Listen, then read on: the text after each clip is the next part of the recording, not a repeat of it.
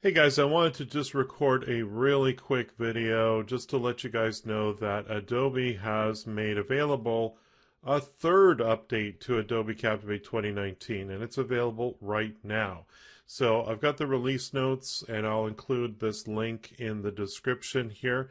Uh, really, this is addressing a couple of issues that showed up with the release of Captivate 2019 Update 2.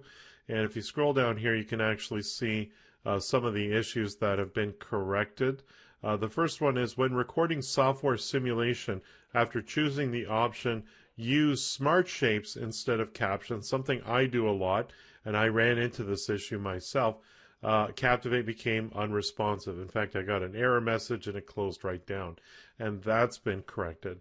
Uh, also, too, when a course contains a random question slide, you are unable to launch the course after revisiting it after suspending or resuming the course. That's been corrected as well.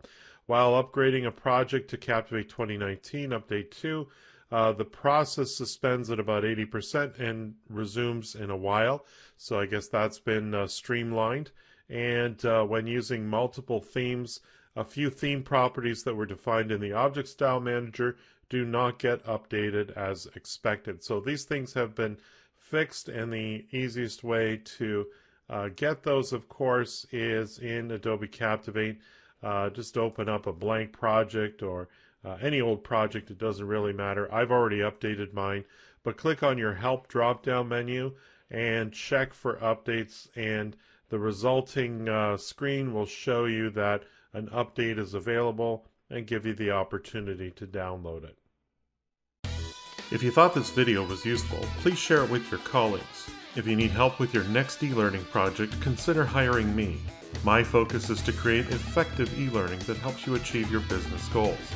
Visit my website at CaptivateTeacher.com, follow me on Twitter at CaptivateTeacher, and don't forget to subscribe to my YouTube channel.